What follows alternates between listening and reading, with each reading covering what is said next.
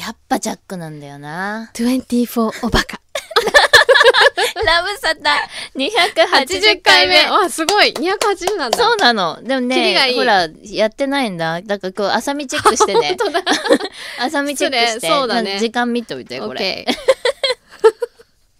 いやね、ウォーキングデッド、そう、みっちゃんに今貸してるんですよ。そうなんですよ。うんやっとシーズン2が終わったんですけど、うん私の見方がもうおかしくなっているから、あの、吹き替えで見てるんですよ、私。うんうんで、ダリル、私ダリル大好きなんですけど、ボーガンのね、はいはいはいはい。ダリルの声がね、何せ小山力也さんでね、ジャックの声なんですよ。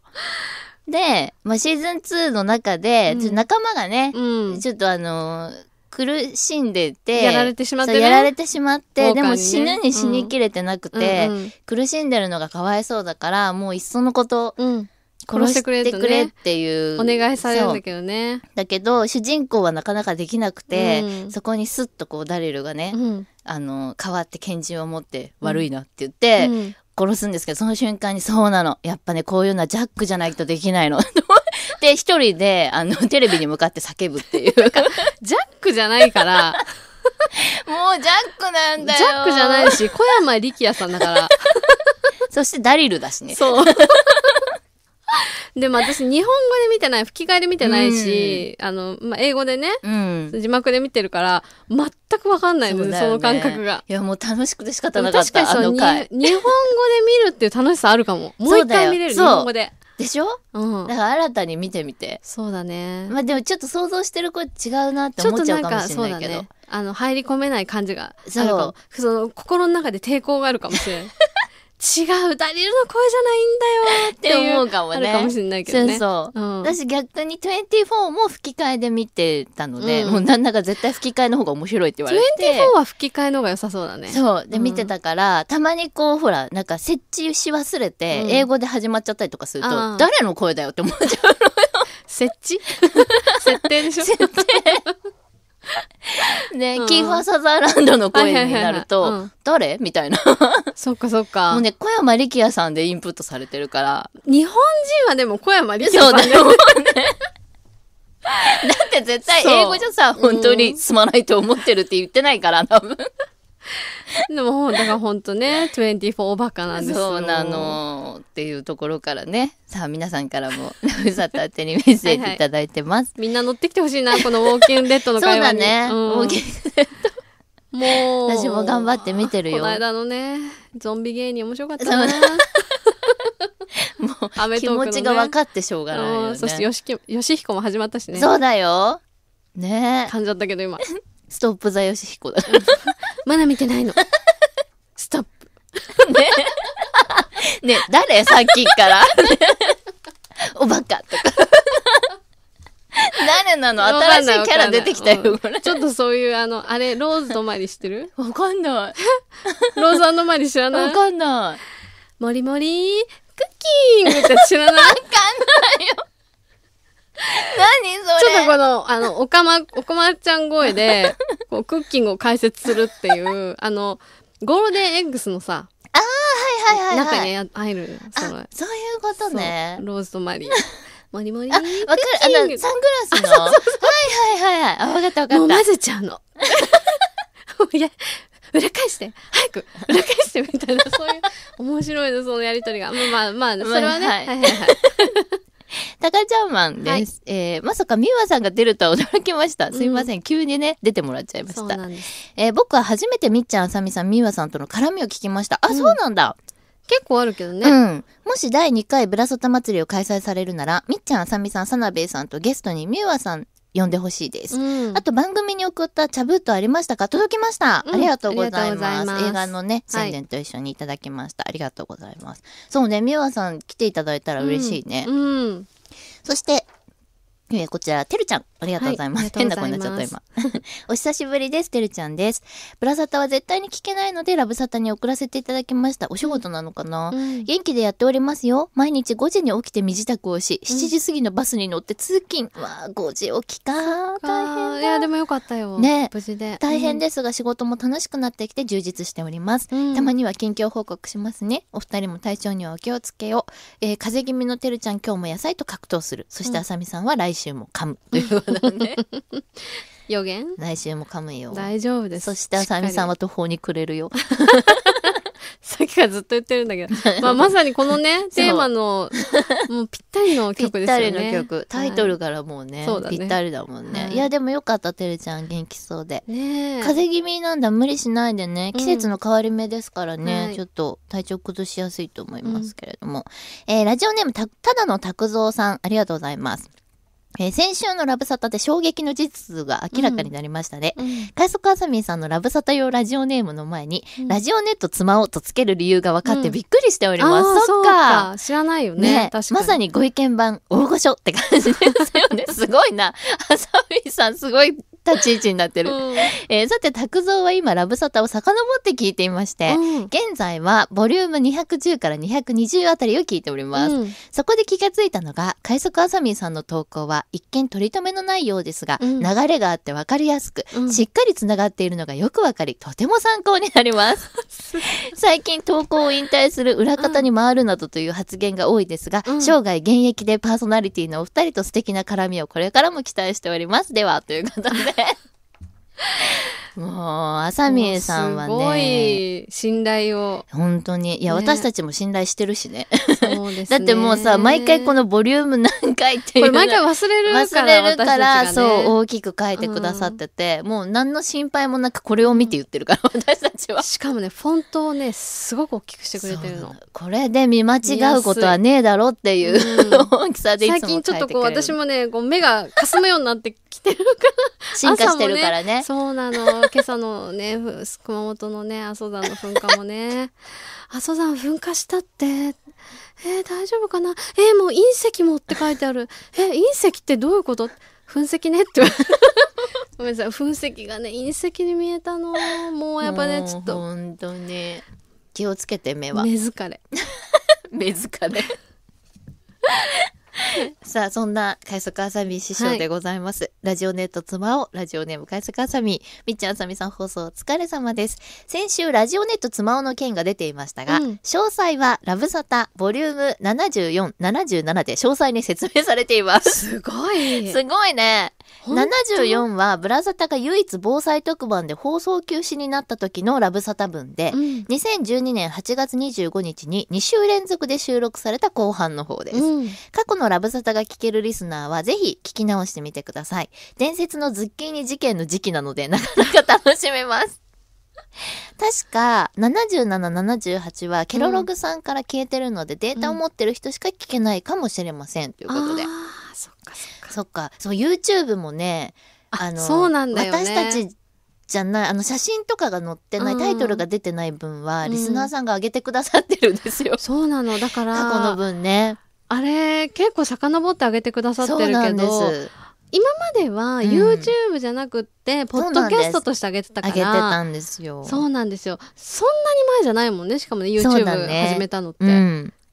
うん。だから、もっと早くからやればよかったよね、本 YouTube。当にありがとうございます。はい。えーあと278の回で、ブラサタは何年目かと言っておりましたが、番組自体は2007年から、うん。現状のみっちゃんあさみさん体制は2011年4月からなので、うん。番組は8年終了9年目、うん。みっちゃんあさみさん体制は4年終了5年目に突入しております。来年3月末でまるっと5年終了です。社内の健康診断で異常が見つかり、11月手術になるか微妙な快速あさみでした。えー大丈夫？なんだろなんか、そんなに大きな病気じゃないことを願う。うけれども。ね。うんねえ、もし手術でね、あの、綺麗にうんそれがなくなるならば、そうですね。いいけれど、うんねえ。あんまり重たいものではなければいいですね。そうだね。無理せずに、うんぜひぜひ。そのね、いろいろとステッカーもまた、本当に、本当にね。本当に気遣っていただいちゃって。ご迷惑をおかけしております。何のご迷惑も受けてない私たち。どちらかというと私たちがおご迷惑をおかけしているサインはどんどんしてあげてくださいって書いてあるけど。お二人が気を使うので、現在サイン用のスペースを空けたステッカーを急遽制作しております。そう、あの、綺麗にね、ブライニューサタデーとかうんお時間も入ってるから、うんこの上にサインをするのは、ちょっと自分の番組にお時間って変でしょ？サインするのがねそうだねちょっと気が引けるなっていうお話をね、ねうんうんうんしちゃったんですよね。うんだから、全然いいんですよ。ありがとうございます。もう本当に、どっちかというと自分のね、体、そうそう。お体の方先に、うん、あの、うんしっかり直してもらって、ねそこはね、もう本当に時間のある時そうそうそにう。本当にまったりでいいんですよ。ぶらさった時間で。し。かも今、結構あの、しっかりとしたね、ね番組の、まあ、ステッカそうなんですよーなり、ポストカードなり作っているので、大丈夫です。はい。ただね、これをやってることで元気が出るって言ってくださるなら、全然あの、やっていただいて大丈夫です。ありがとうございます、いつも。源になれれば嬉しいですけどね。ありがとうございます。そして、日高さんからもいただいてます。えー本放送お疲れ様でした。ブラステも送っていただき嬉しい限りの中、うん嬉しいことは続くのか、うんやっと、やっとこさ、ラブサタにふさわしいネタを本日は送ります。うん。実は、来週の日曜、何十年かぶりに、職場の女性となんと、ドライブに行くことになりましたすごいじあゃん。ら最初は彼女は友達でも連れてきそうなことを言っていたので、うん。複数人でのドライブだと思っていたのですが、うんうん。蓋を開けてみるとびっくり。彼女単身で来るというではありませんか？そこで恋愛スペシャリストの、私もお二人にお伺いしたいのですが、うん。女性が単身で会社での接点しかない男性とうん。二人でドライブに行こうなんて思うときは、うん。ただ行きたいからそれだけなのか、うん。相手に何らかの興味があるから、うん。二人でも行ってしまおうと思うのか、うん。それとも異性とは意識されていないのか、うん。お二人はどのように思いますか？もちろん上記に挙げた理由様々であればドライブは楽しいものにしたいと考えております。うんラブネタになってますかね？なってますよ。うん。嬉しいね。こういうメッセージが来るのも。いや、これは、何らかのやっぱ意識しないといかないですよ、会社の人とは。思近すぎるもんだって。う。ねえ。うん。二人っきりでしょ？しかうんも。友達、いや、いや、ある程度ね、年齢重ねると、うん。完全なるうん。フレンドは多分ない気がするな。そうだ。ね。いやう、ん異性とは意識されていないなんてことはないと思う。うん。まあ、お二人の関係性がね、そうだね。どんな感じかはわからないけ普れども、段のね。うん。まあ、少なからずはあるでしょうね。うん。少なからずは絶対に興味があるか、うん好意を持っている。うん。嫌いじゃないことは確か。だって、二人っきりで密室よ。友達として多分行くとすれば、うんおそらく二人では行かないと思うな。そうだよね。うん、なんか何人かで誘って行こうよ楽しいじゃんその方がってうん。なると思うけどな、ねう。んだからこれはちょっと日高さん次第っていうのもあるかもよ、そうだよね。うんまたこのドライブのね、うん感じでまたうん、何かがあるかもしれないし。どこ行くんだろうねどこ行くんだろうねえいやー、ちょっと。これはねあのーあんまもたもたしない方がいいなきっと 一日のプランはね要所要所掴んどいた方がいい気がするそうだね、うんそうそうそう。車で長くても大丈夫な人か。ただもうみっちりスケジュール感をあのたスケジュール立ててやられると、それはそれでちょっと重たいんだよそう、ね。疲れちゃうから。なんか一回昔あったんだけどうん。6時20分にお店を予約しているので 時間して。15分頃向かいましょうかみたいな。で、あ、ちょっとお手洗い行きたいんですけどって話をした。映画の後ね、うん行きたいんですけどって言ったら、あでは、こちらの方は逆になるので、こちらの方でどこか途中でおトイレがあれば、そこに寄りましょうかみたいな。いや、映画館で入ってくので大丈夫ですって。すごい。もう、きっかり決めないと。すごいスケジュールの立ててる人なんだなと思って、スケジュールをしっかりしないと嫌な人なんだなと思って。でもいるよね。いる。で、またさ、そういう人に限ってさ、ちょっとずれたりするとイライラしだしちゃったりとか、わたわたしちゃったりとかしやすいから、ちょっと余裕持っといた方がいいよね。ね、確かになんかなんかそういうふうにはならずに、うん。けど何にもノープランみたいになっちゃうとそれはそれでせっかくのデートなのに、うんなんかちょっとねだらーっとしたままねうんも。ったいない時間が過ぎちゃうみたいなそうそうのももったいない。どこ行こうか。そうだね。どうしようか。みたいな時とりあえず間もったいないからね。東に走ろうか。そ保存もったいないから。いや、でも日高さんなら大丈夫だよ。大丈夫だようんきっと大ね。丈夫。いやー。だっえ、てさぜひぜひ。番組にもほら、うんあの、お人形さん送ってきてくれたのって日高さん？そあと、こっそり花束くれたでしう。ょ？もう、ね。ブラサタ祭りの時に。ね。なんていうの？だから、なんかね、うまくいく気がするな。そう。すごい。なそのままの日高さんでいいですよ。うんだから、うん変に意識しすぎなくていいと思います。ねいやー、ちょっと素敵な続きが聞けるといいな。え。ねえ。ねやっぱドライブはサザンかな。え。海に行くわけね。横浜でもいいね。あ、そう。横浜だったらプラン作れんだけどなとか言って。もうだってすごいものよ、みっちゃんの横浜愛が。私。あのー、浜っ子でもないのに。全然、玉っ子だから。浜っ子なのに。全然玉っ子なんだけど。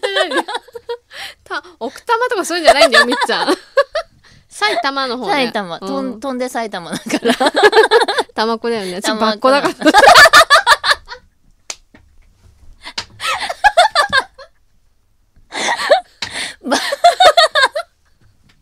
そこ、そこに行ったうん千葉っ子じゃないんだよ。そうばっこだか いやー。ら。さあ、大変。もう、そろそろお時間ですあよ。本当に？うん、ずいぶん経ってますよ。